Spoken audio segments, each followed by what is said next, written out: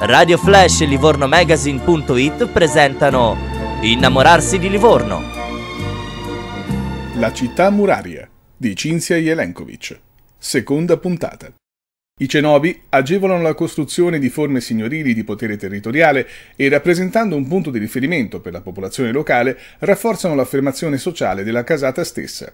Solamente sul versante orientale dei monti livornesi si assiste a una riutilizzazione della strutturazione preromana in un ciclo di recupero dell'impianto dell'antropizzazione.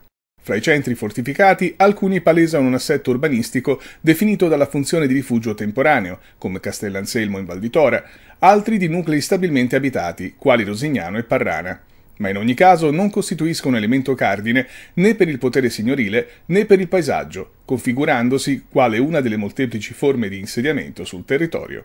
L'assetto strutturale dei castelli, che emerge dalla lettura dei siti, si delinea in una tipologia di impianto elementare, i cui apparati difensivi, cerchia muraria e torre, vengono edificati dapprima prevalentemente in legno e successivamente, con la svolta edilizia del X-XI secolo, in pietra.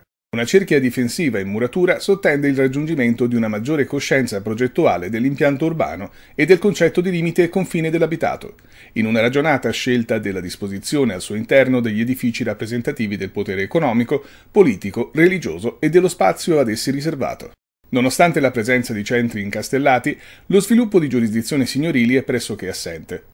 Il finitimo comune pisano impedisce l'istituzione di diritti signorili di privati su terreni demaniali, della marca o della contea e soprattutto agisce da inibitore della fondazione ex novo di castelli o alla fortificazione di insediamenti preesistenti, in una politica di controllo territoriale da parte dell'autorità pubblica per evitare l'indebolimento della potenza economica pisana.